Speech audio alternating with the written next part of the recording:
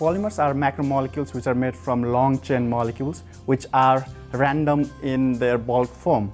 That's why heat cannot transfer efficiently from one end to another end as well as it is weak. It's not as strong as metals. However, when you draw and align these random molecules and straighten them out, they can be strong as well as thermally conductive. But how can we prove that? So in order to know that it actually conducts more heat as well as it becomes strong, we use special devices to measure them. For example, here is one of the devices that we use to measure how thermally conductive these drawn polymer nanowires are. So in this device, there are two suspended platforms.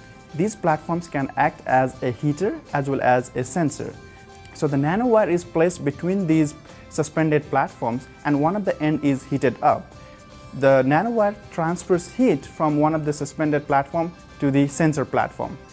The temperature rise in the sensor platform is measured by measuring their change in resistance and by knowing how much heat has been transferred from one platform to another, we can measure how thermally conductive these nanowires are. And our experiment shows that in bulk form, these nanowires have thermal conductivity around 0.4 watts per meter per Kelvin. However, by drawing them, we have enhanced their thermal conductivity by almost three orders of magnitude up to around 90 watts per meter per Kelvin. As well as these material are super strong. My other experiment shows that their strength can be as high as 12 gigapascal. That's almost like 12 to 15 times higher than steel.